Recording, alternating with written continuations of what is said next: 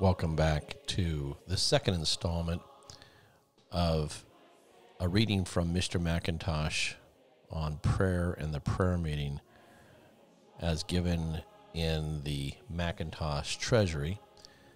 This is a second installment of four parts that he wrote.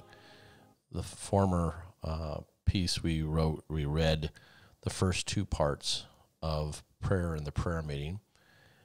And now we're going to read the next two parts of the same prayer and the prayer meeting by Mr. C.H. Mackintosh. And you can grab those first two parts in the other episode. And we get down to part number three part number three.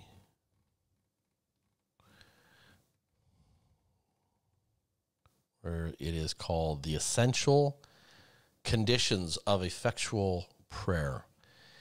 If we return to Matthew 21 22, we find another of the essential conditions of effectual prayer. Quote, In all things whatsoever ye shall ask of in prayer, believing, ye shall receive. This is truly a marvelous statement. It opens the very treasury of heaven to faith. There is absolutely no limit. Our blessed Lord assures us that we will receive whatsoever we ask in simple faith.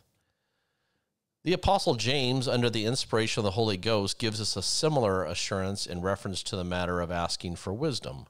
If any of you lack wisdom, let him ask of God, what that gives to all liberally, and upbraids not, and it shall be given him. But here's the moral condition let him ask in faith, nothing wavering.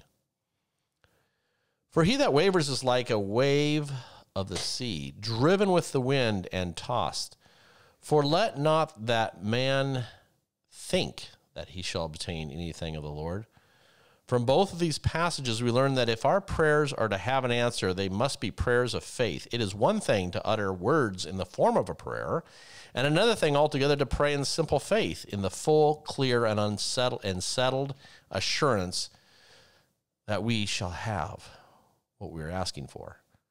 It is greatly to be feared that many of our so called prayers never go beyond the ceiling of the room in order to reach the throne of God, they must be born on the wings of faith and proceed from hearts united and minds agreed in holy purpose to wait on our God for the things that we really require.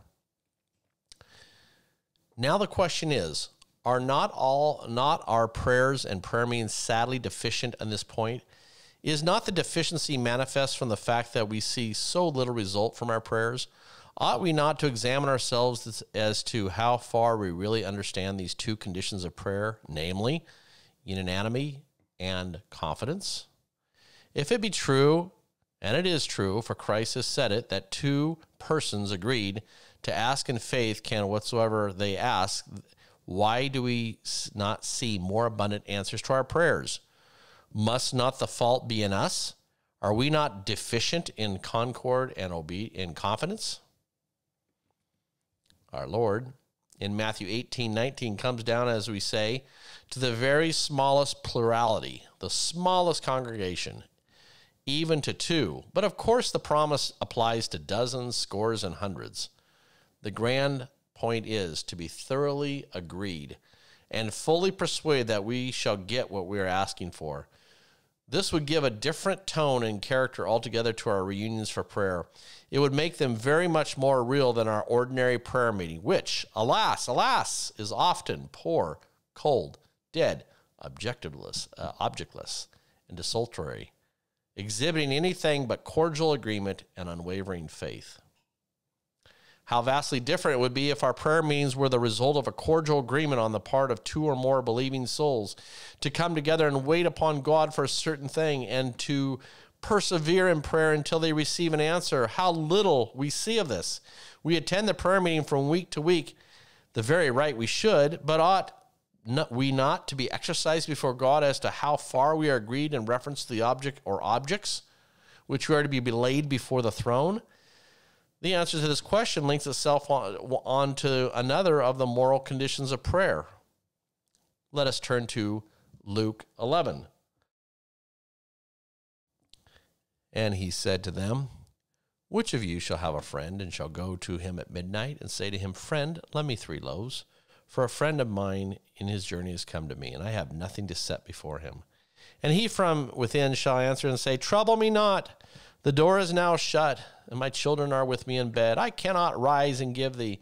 I say to you, though he will not rise and give him because he is his friend, yet because of his importunity, he will rise and give him as many as he needs.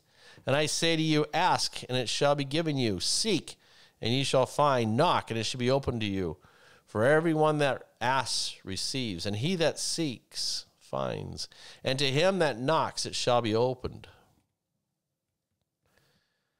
These words are of the very highest possible importance, insomuch as they contain part of our Lord's reply to the request of his disciples, Lord, teach us to pray.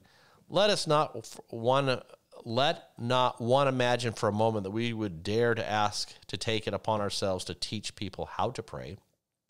God forbid. Nothing is further from our thoughts. We are merely seeking to bring the souls of our readers into direct contact with the Word of God, the veritable sayings of our blessed Lord and Master, so that, in the light of those sayings, they may judge from themselves as to how far our prayers and our prayer meetings can come up to the divine standard. What then do we learn from Luke 11? What are the moral conditions which it sets before us? In the first place, it teaches us to be definite in our prayers. Friend, lend me three.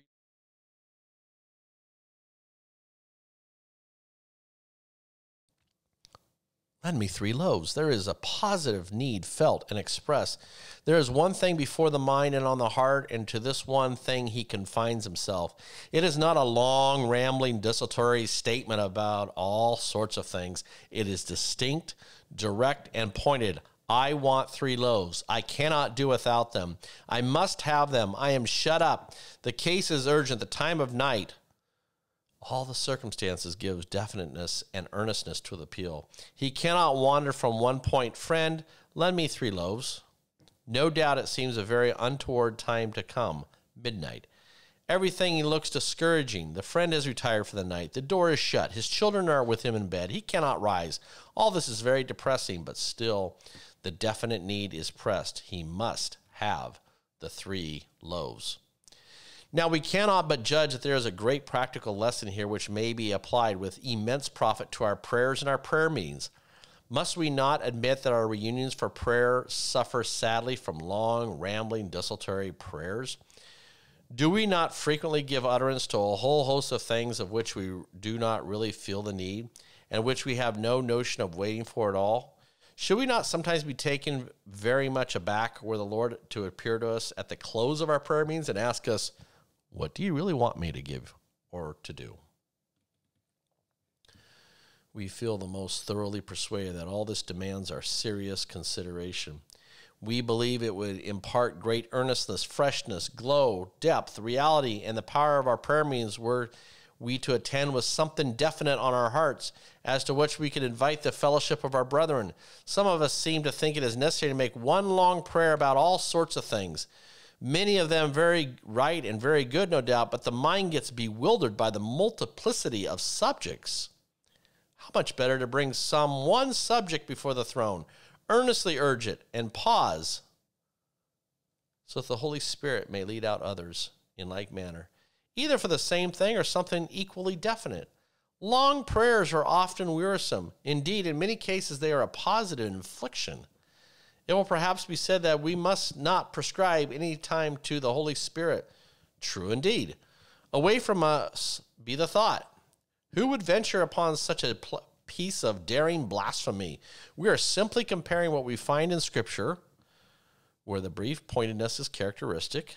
See Matthew 6, John 17, Acts 4, Ephesians 1, Ephesians 3, etc. with what we too often, not always, thank God, find in our prayer meetings. Let it then be distinctly borne in mind that long prayers are not the rule of Scripture.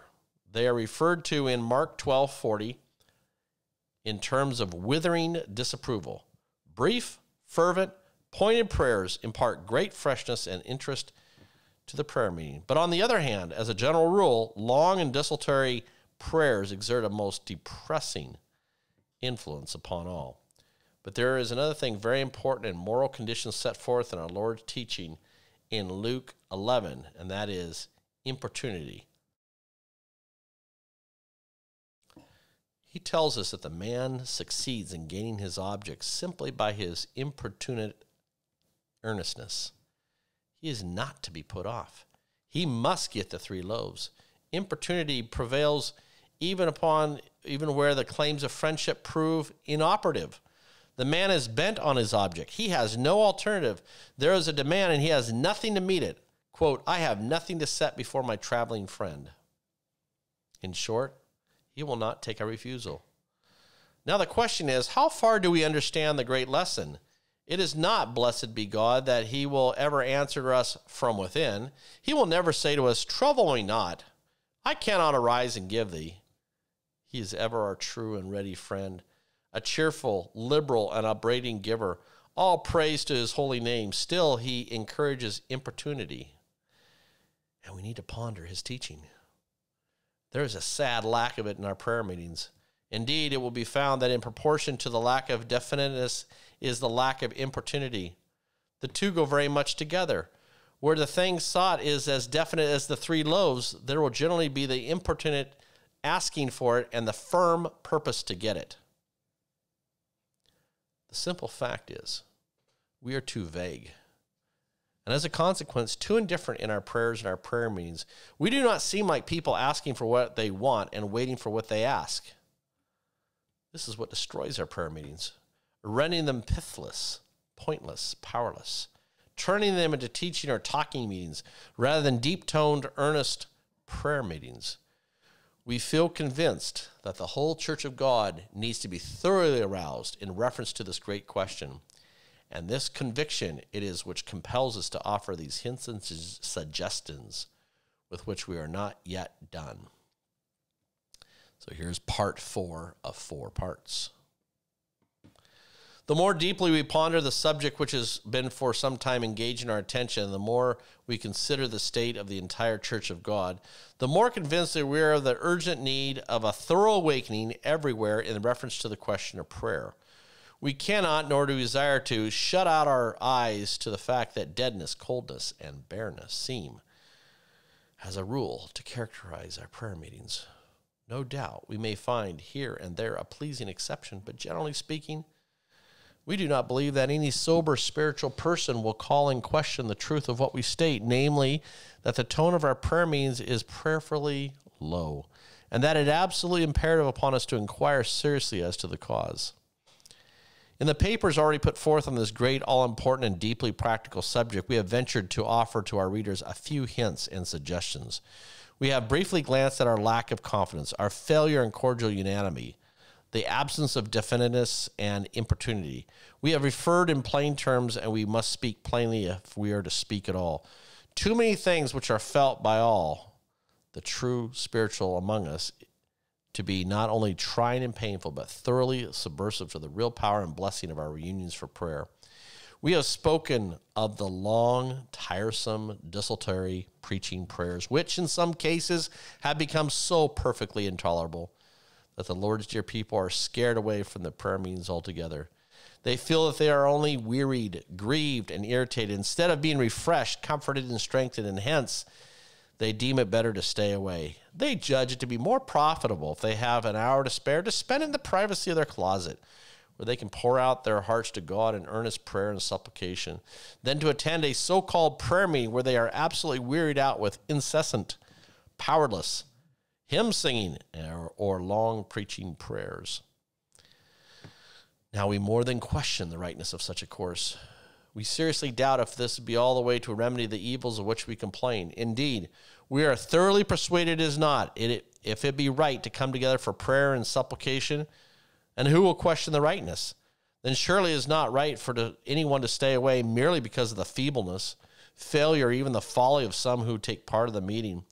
If all the really spiritual members were to stay away on such a ground, what would become of the prayer meeting? We have very little idea how much is involved in the elements which compose a meeting. Even though we may not take part audibly in the action, if it if we are there in a right spirit, there really to wait upon the God upon God, we marvelously help the tone of the meeting. Besides, we must remember that we have something more to do in attending to me than to think of our own comfort, profit, and blessing.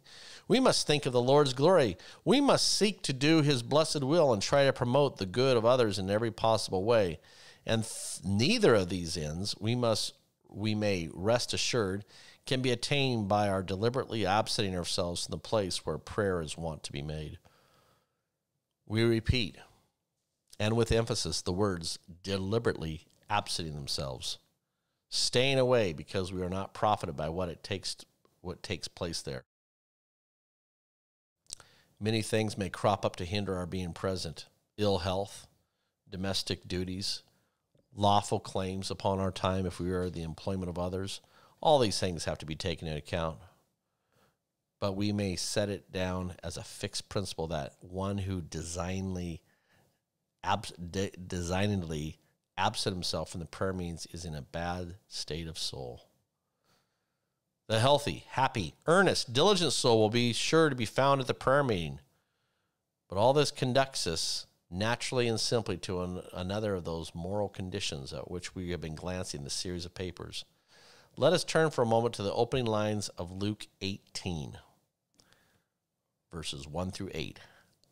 And he spake a parable to them to this end that man ought always to pray and not to faint, saying, There was in a city a judge who feared not God, neither regarded man. And there was a widow in that city, and she came to him, saying, Avenge me of mine adversary. And he would not for a while. But afterward he said with himself, Though I fear not God, nor regard man, yet because this widow troubles me, I will her, lest by her continual coming she weary me. And the Lord said, Hear what the unjust judge says. And shall not God avenge his own elect, which cry day and night to him, though he bear long with them? I tell you that he will avenge them speedily. Here, then, we have pressed upon our attention the important moral condition of perseverance. Men ought always to pray and not to faint. This is intimately connected with the definitiveness and opportunity to which we have already referred. We want a certain thing, we cannot do without it. We importunately, unitedly, believingly, and perseveringly wait on our God until He graciously sends an answer. And as He most assuredly will, if the moral basis and the moral condition be duly maintained. But we must preserve, persevere. But we must persevere. We must not faint and give up, though the answer does not come as speedily as we might expect. It may please God to exercise our souls by keeping us in waiting on Him for days, months, or even years.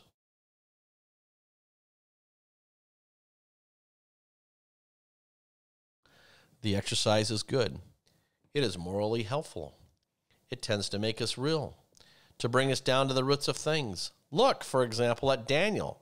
He was kept for three full weeks waiting on God in profound exercise of soul. Quote, in those days, I, Daniel, was mourning three full weeks. I ate no pleasant bread, neither flesh came nor wine in my mouth, neither did I anoint myself at all, till three full weeks were fulfilled. All this was good for Daniel. There was a deep blessing in the spiritual exercises through which this beloved and honored servant of God was called to pass during those three weeks. And what is especially worthy of note is that the answer to Daniel's cry had been dispatched from the throne of God at the very beginning of his exercise, as we read at Daniel 8 12. Then said he to me, Fear not, Daniel, from the first day that thou didst set thine heart to understand and to chasten thyself before thy God, thy words were heard, and I am come to thy words. But how marvelous and mysterious is this? Quote, The prince and the kingdom of Persia withstood me one and twenty days. But lo, Michael, one of the chief princes, came to help me, and I remained there with the kings of Persia. Now I am come to make thee understand what shall befall thy people in the latter days. All this is full of interest. Here are the beloved servant of God mourning, chasing himself, and waiting upon God. The angelic messenger was on his way with the answer. The enemy was permitted to hinder, but Daniel continued to wait. He prayed and fainted not, and in due time the answer came. Is there no lesson here for us? Most assuredly there is. We too may have to wait long in the holy attitude of expectancy and in the spirit of prayer, but we shall find the time waiting most profitable for our souls. Very often our God, in his wise and faithful dealing with us, seeks sees fit to withhold the answer, simply to prove us at the reality of our prayers.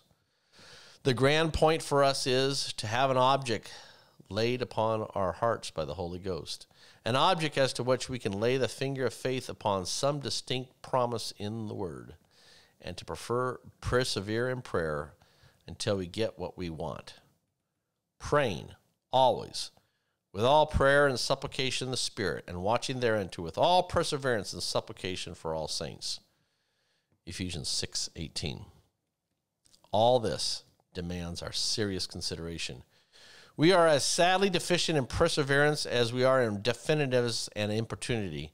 Hence, the feebleness of our prayers and the coldness of our prayer means we do not come together with a definite object, and hence we are not impotent, importunate, and we do not persevere.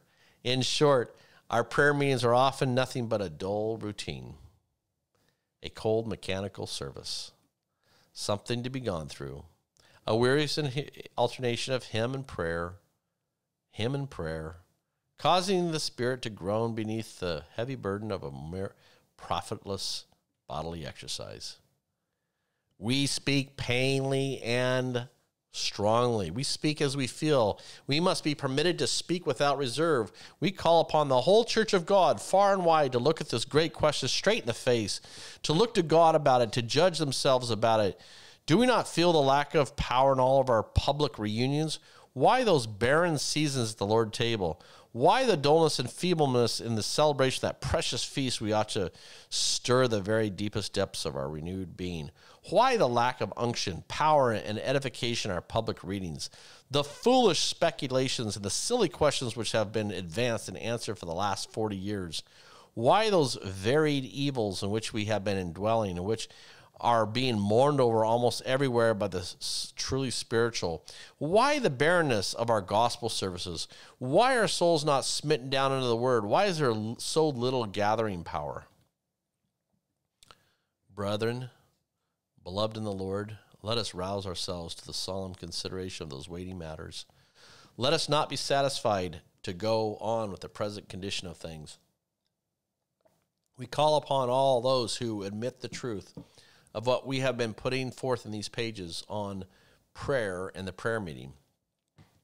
To unite in cordial, earnest, united prayer and supplication, let us seek to get together according to God and uh, to come as one man and prostrate ourselves before the mercy seat and perseveringly wait upon our God for the revival of his work, the progress of his gospel, the ingathering and upbuilding of his beloved people let a let our prayer meetings be really prayer meetings and not occasions for giving out our favorite hymns and starting our fancy tunes.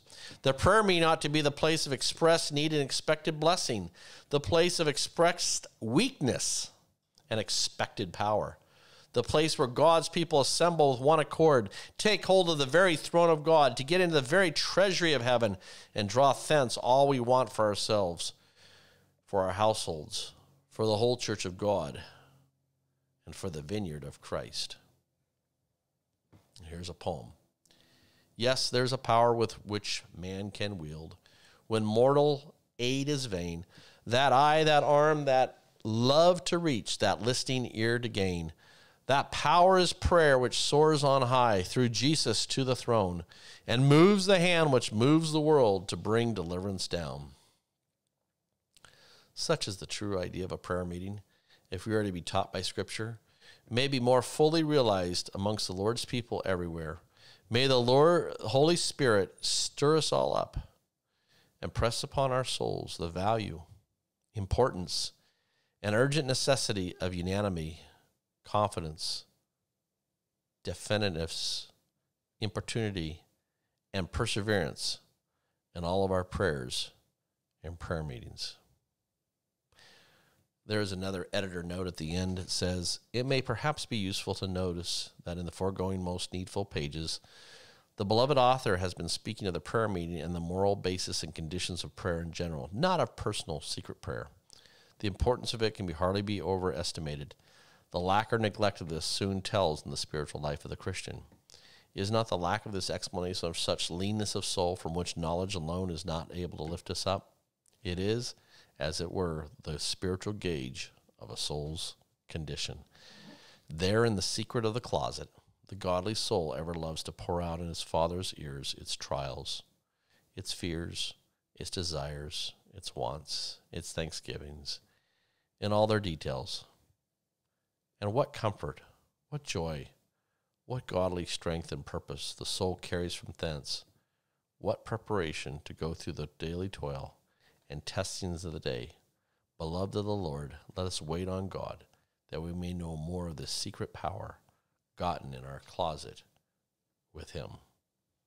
And that's the reading from Mr. C.H. Mackintosh on prayer and the prayer meeting.